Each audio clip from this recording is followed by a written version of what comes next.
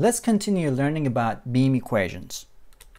So we looked at a very infinitesimal beam element like this and we applied the uh, or we looked at the distributed loads and moments and shear forces at a very small distance dx and we found these equations the relationship between the distributed force wx and shear force v so wx is equal to minus dv over dx which is the derivative of shear force with respect to x which is the length or distance along the length of the beam and then we said that v is equal to dm over dx which is the derivative of moments with respect to x again the distance along the length of the beam this tiny point of a beam could be a point like that in a deformed beam.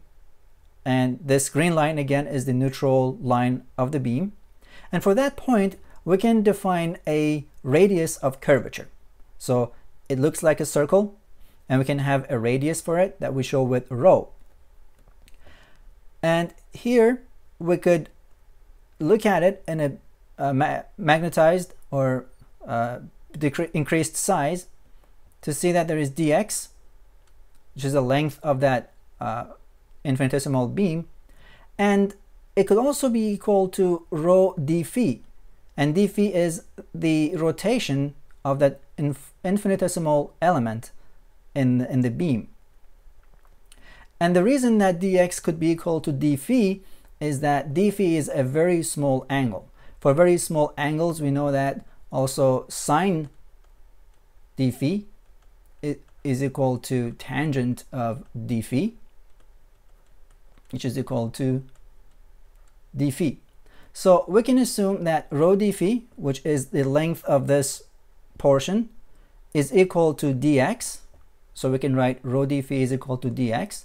And as a result, rho becomes dx over d phi. Or we could rewrite it as 1 over rho becomes d phi over dx.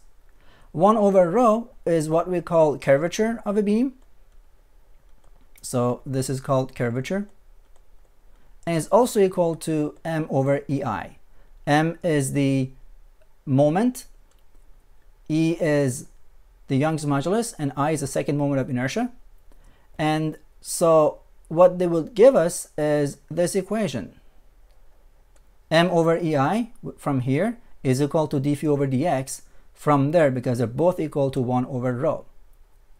We also know that phi, the angle of rotation, is equal to dv over dx. v is displacement in the y direction, so displacement in y direction. And x again is the distance along the length of the beam. So we end up with this equation m over ei is equal to d2v over dx squared. So, knowing this equation from the previous slide, and we also knew that v is equal to dm over dx, we could insert that in here.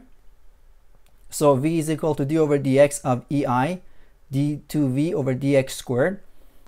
And if we assume that ei is constant, so we can take it out, then v the shear force becomes equal to EI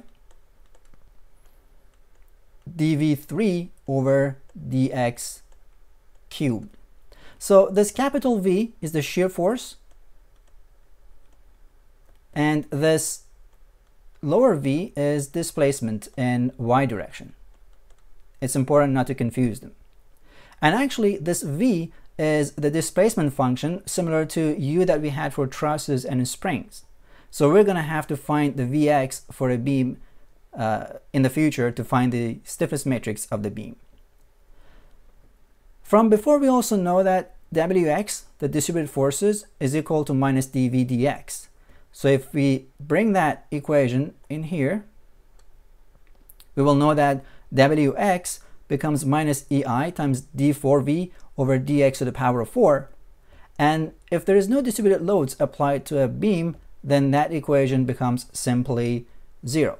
So we found the equations that would relate the forces to displacements. So basically the forces and displacements and the forces and displacements can be found from these two equations. Next, we'll move to find the displacement function for a beam and move on to finding the stiffness matrix of a beam.